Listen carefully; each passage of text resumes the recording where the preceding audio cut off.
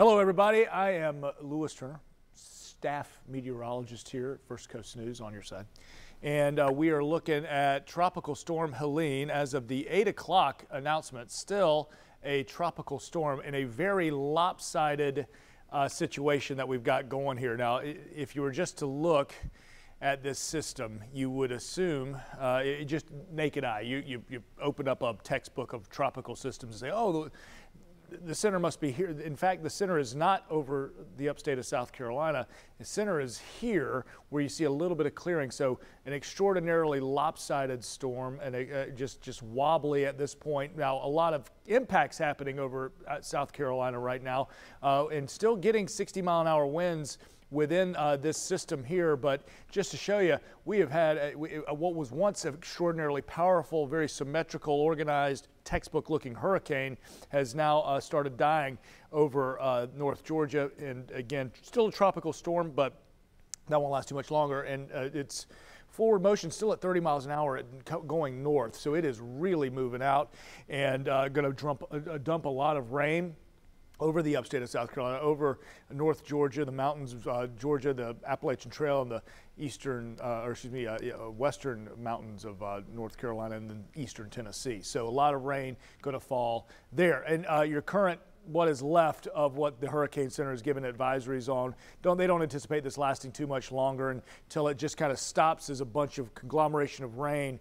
uh, through the Ohio River Valley and uh, leaving a mess of potential for flooding there. Uh, so uh, current condition uh, getting so much better. As you can see the cloud cover, this is your satellite imagery. See that storm moving up and into Georgia and leaving us with uh, some clearing skies and, and, the winds relaxing as well. So let's talk about what we saw from this storm. So our peak wind gusts happening really overnight, Thursday night into Friday, with which caused all the uh, real uh, power outages around our area, big winds. So for Mayport, actually measured a 80 mile an hour wind gust. 80 mile an hour wind gust for Mayport. Massive winds. Jekyll Island, 78 mile an hour winds. Okay, and that's just, that's still so far out from the center of this storm. 75 mile an hour winds for Neptune Beach. Uh, Jacksonville International Airport, 72. We had a 71 at NAS Jax. Some peak winds. Now, Waycross registering a 71.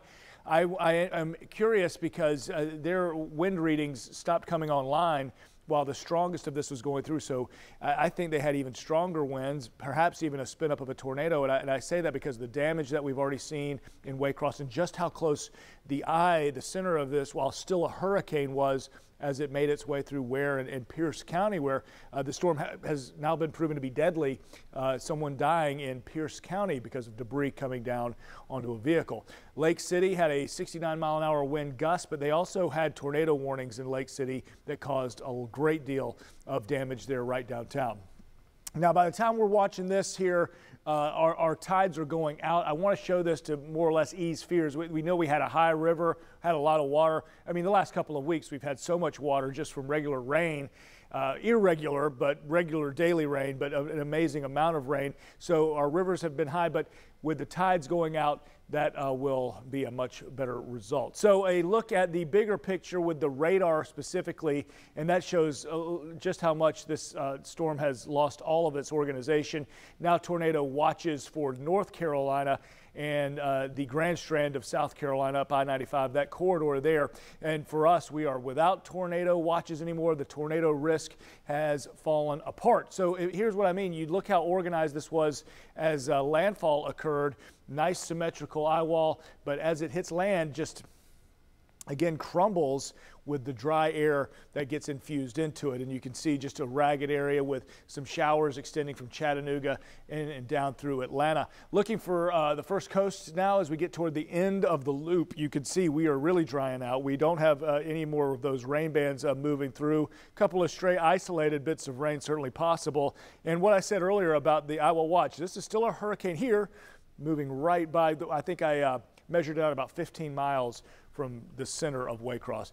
And I also mentioned not getting many readings from Waycross offline, and Waycross offline Valdosta, which makes sense, uh, probably had some equipment issues and malfunction considering the winds blowing over that equipment. So Valdosta and Waycross hit very hard. Lake City, though, uh, the winds dying down there. Now that we're starting to see winds up and under uh, the 20 mile an hour mark. We're doing much, much better. Gusts over the last little while 32 Jacksonville, 31 Mayport, and those are relaxing as well. So we're getting outside again. If you have to do a little cleanup in the yard, we are in the upper 80s today. Currently, uh, through our mid morning and, and, lunchtime, we'll be in the low 80s, but afternoon high is going to be around 88 degrees. So back to that, back to a little bit of sunshine out there as well for any recovery cleanup that you've got to do in your yards if you're getting things going. And to show our future cast, our computer modeling for the potential for rain through our afternoon into Friday. Doing pretty good. A lot of showers stay down towards our south. Maybe overnight and early morning Saturday, we get just a lingering tail from uh, the tropics pulling through uh, uh behind what was once Helene, and now kind of being absorbed into an area of low pressure. Could see a few showers uh, there, widely scattered showers on Saturday, but overall a pretty decent weekend. And why not? Because why not? Kids are out of school for the day. Uh, if you are going to the pool, if the pools are open, I mean, if you got it in the backyard, good on you. Just 10% of seeing, chance of seeing a shower night, as I mentioned, 88 degrees. So a nice little day. Spend a little time, quality time with family, and in between picking up the tree limbs out of the yard. 88 degrees, as mentioned, as your afternoon high. And notice our weather icons, no real chance of rain listed in there. So I leave you with this uh, picture right now. The tropics, while we are not out of the woods by any stretch of the imagination. Still got a long way to go within this uh, hurricane season. Uh, we uh, do have things brewing out in the tropics. I do just want to take the hurricane season one bite at a time. We just had a big old bite, a mouthful, and uh, we're going to relax through this weekend where uh, we see plenty of uh, sun and nice conditions. So you guys have a good one. We'll continue to update as necessary.